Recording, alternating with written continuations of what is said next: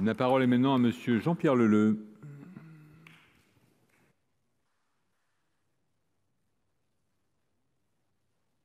Monsieur le Président, Madame la Ministre, Madame et Messieurs les rapporteurs, mes chers collègues, je voudrais évoquer ici un sujet qui s'est invité dans l'examen du présent texte. Il s'agit de la protection de la création audiovisuelle française et de nos auteurs. En effet, le gouvernement euh, a souhaité introduire dans le projet de loi, par voie d'amendement, la transposition de trois importantes directives européennes.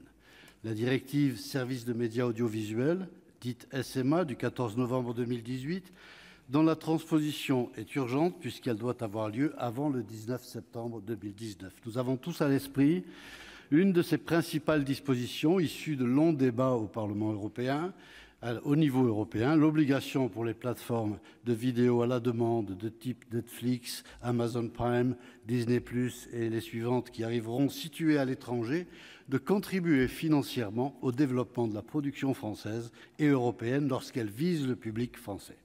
Lors des négociations, la France a joué un rôle majeur pour imposer le respect de notre modèle de financement de la création. Dans la même logique, la directive prévoit des mesures visant à rompre avec l'asymétrie des situations entre anciens et nouveaux acteurs de l'audiovisuel, par exemple en autorisant le placement de produits. Elle permet également d'actualiser les compétences de l'instance de régulation, actuellement le CSA, notamment en ce qui concerne le contrôle des plateformes de vidéo à la demande. La seconde directive destinée à être transposée est la directive dite droit d'auteur du 17 avril 2019. Après deux années de vifs débats, l'Union européenne a validé le principe d'une meilleure rémunération des artistes et éditeurs de presse à l'occasion de la diffusion de leur contenu sur des plateformes comme Google ou YouTube. Assurer le respect des droits d'auteur sur les plateformes s'est avéré compliqué, dans la mesure où les œuvres sont téléversées par les utilisateurs des services de partage et non par les services eux-mêmes. La directive européenne rend finalement les plateformes responsables des contenus publiés et les oblige à conclure des accords avec les ayants droit des œuvres pour qu'ils soient rémunérés ou à retirer les contenus dont la publication ne respecterait pas le droit d'auteur. En effet, Internet doit être un espace qui profite à tout le monde et avant tout aux créateurs. Et enfin, la directive dite câble satellite, CAPSAT, du 26 mars 2019, qui franchit une étape supplémentaire en faveur de la modernisation du droit d'auteur en Europe en facilitant la cession de droits pour les services de radiodiffusion par satellite et de retransmission par câble sur le marché unique de l'Union européenne. Le présent projet de loi, parce qu'il vise à transposer plusieurs réformes importantes récemment introduites dans la législation de l'Union européenne peut devenir, en raison de circonstances exceptionnelles, le véhicule de transposition de ces trois ordonnances. En effet, la transposition des ordonnances devait être assurée par l'adoption du projet de loi pour une réforme de l'audiovisuel, mais nous le savons, l'examen de celui-ci s'est trouvé brutalement interrompu à l'Assemblée nationale au moment de la crise sanitaire. Or, l'ensemble des professionnels concernés sont dans l'attente de cette nouvelle règle. Notre groupe est hostile, comme les autres d'ailleurs souvent, à la multiplication des ordonnances.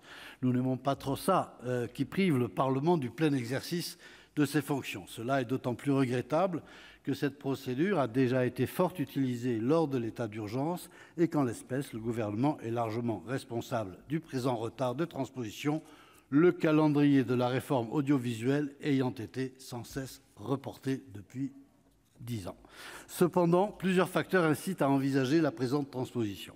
Tout d'abord, pour respecter les délais de transposition. La directive SMA, je le disais tout à l'heure, doit être transposée d'ici le 19 septembre prochain.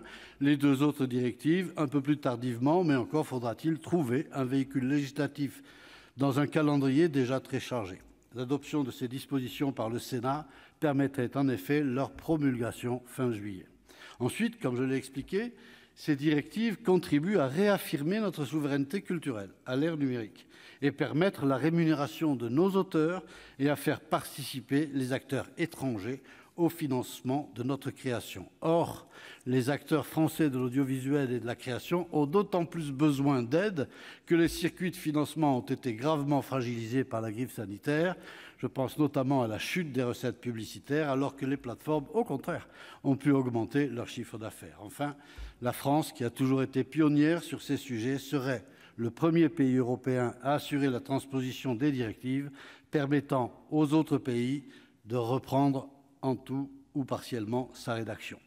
Encore faut-il se garder d'une transcription trop rapide, qui ne respecterait pas l'équilibre recherché par le projet de loi audiovisuel entre les plateformes, d'une part, et les acteurs nationaux, d'autre part. Lors des auditions menées par le groupe de travail médias audiovisuels au sein de notre commission de la culture, nous avons pu constater la déception des chaînes françaises face à la méthode retenue par le Gouvernement. En effet, la directive SMA intègre les plateformes dans le système de financement de la création française, mais il ne faut pas oublier que cette mesure devait avoir pour corollaire l'assouplissement des obligations pour les acteurs historiques. Or, si le calendrier de la transcription de la directive est maintenant accéléré, votre prédécesseur, Madame la Ministre, avait renvoyé à une date ultérieure, indéterminée, les aménagements pour ces acteurs traditionnels.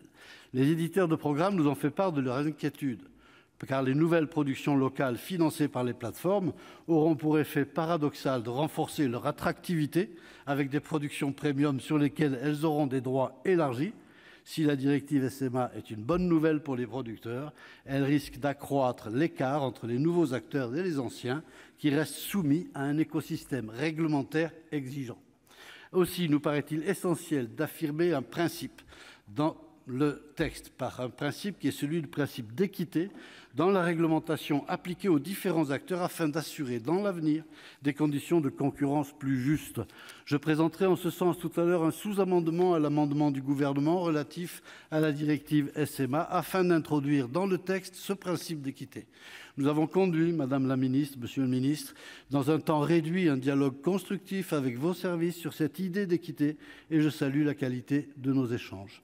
L'introduction du principe d'équité constitue un symbole politique fort puisqu'il signifie que le Gouvernement devra veiller à rétablir des conditions de concurrence plus justes entre les acteurs historiques dont les obligations ont été définies il y a plus de trente ans dans un univers fermé sans concurrence internationale. Ce principe aura également une portée juridique puisqu'il s'imposera en particulier au pouvoir réglementaire et devra donc s'appliquer dans les mois à venir. Bien évidemment, l'adoption par notre groupe des dispositions transposant cette directive sera conditionnée à l'adoption de ce sous-amendement issu des travaux de notre groupe de travail.